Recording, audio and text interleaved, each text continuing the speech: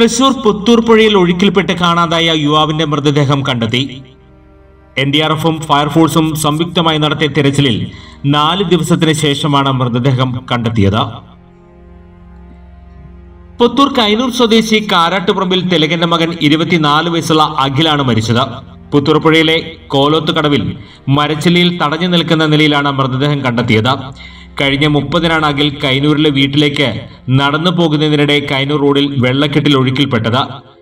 തൃശൂരിലെ bike showroom ജീവനക്കാരനായ യുവാവ് വീടിന് സമീപം വെള്ളം കയറിയതറിഞ്ഞ് വീട്ടിലേക്ക് പോകും വഴിയാണ് അപകടത്തിൽപ്പെട്ടത്.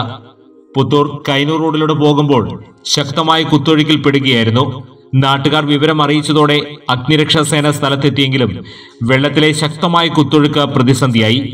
ഏറെ നേരം തിരച്ചിൽ നടത്തിയെങ്കിലും അഖിലിനെ കണ്ടെത്താൻ കഴിഞ്ഞില്ല. തുടർച്ചയായ നാല് ദിവസം പ്രദേശത്ത് തിരച്ചിൽ നടത്തിയിട്ടും കണ്ടെത്താനായില്ല. തുടർന്ന് എൻ ഡി ആർ എഫും ഫയർഫോഴ്സ് ക്യൂബ സംഘവും ശനിയാഴ്ച രാവിലെ മുതൽ നടത്തിയ തിരച്ചിലാണ് മൃതദേഹം കണ്ടെത്തിയത്.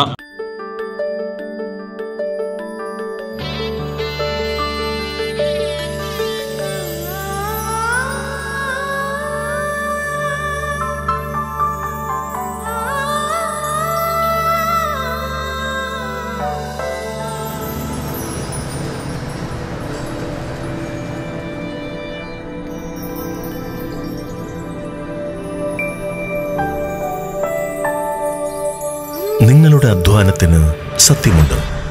ഞങ്ങളുടെ സ്വർണത്തിനും Ishara golden diamonds Kodungallur road Triprayar സ്വർണത്തിന്റെ സത്യം